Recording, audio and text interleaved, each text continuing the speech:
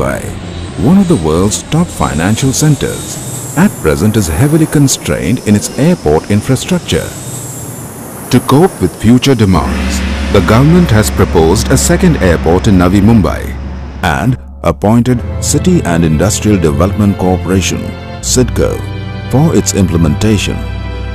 CIDCO, building the future, enriching the present is our work ethos.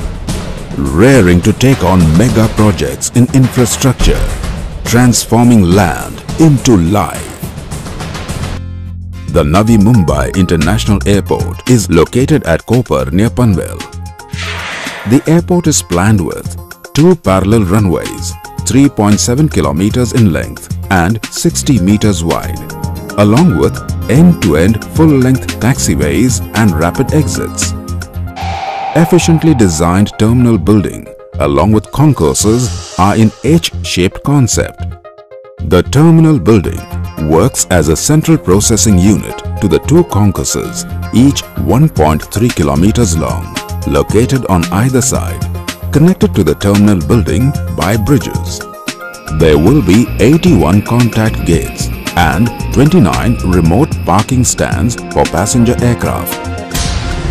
The 100-meter tall iconic ATC tower is located at the north of the terminal building.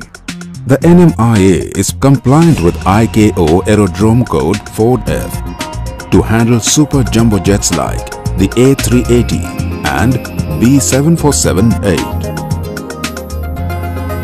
On the way to the terminal, there's an innovative interchange loop for service road traffic, followed by the taxiway bridge. The metro enters the terminal building at the apron level. An outbound passenger will alight at the departure level of the terminal building and passing via the vestibule entrance gates will enter the main departure hall. Once checked in, the passenger will climb down one level to move either to the international or the domestic concourse. The connecting bridge will lead to the respective concourses. To access the boarding gate, the passenger descends one level and arrives at the grand double height holding areas and the privilege lounges, awaiting the final call for boarding.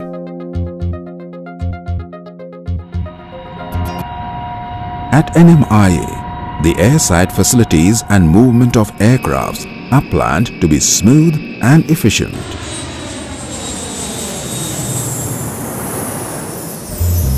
Located approximately 40 kilometers from the existing Mumbai airport, 47 kilometers from South Mumbai and about 45 kilometers from the western suburbs, the Navi Mumbai International Airport will be provided with enhanced connectivity, ensuring easy and quick access.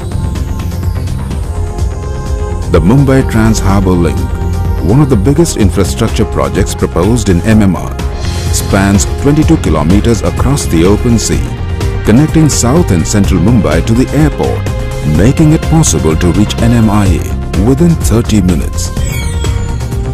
The NHAI along with JNPT and CIDCO is actively working on capacity augmentation of NH4B, Amramarg and SH54.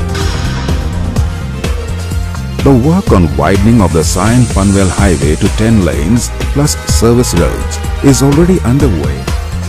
A multi-modal corridor project, an 8-lane road with a metro along the central verge from Virar to Alibag with a connection to NMIA is proposed. The implementation of the proposed metro corridors are all on fast track. To add to this is the grand plan of activating the potential of passenger water transport connecting Mumbai Island to Navi Mumbai. NMIA, the mega project, is being built on a public-private partnership model with the private sector holding 74% equity in the proposed special purpose vehicle. The balance being held by the Government of Maharashtra through CIDCO and the Airports Authority of India. NMIA, it's an idea whose time has come.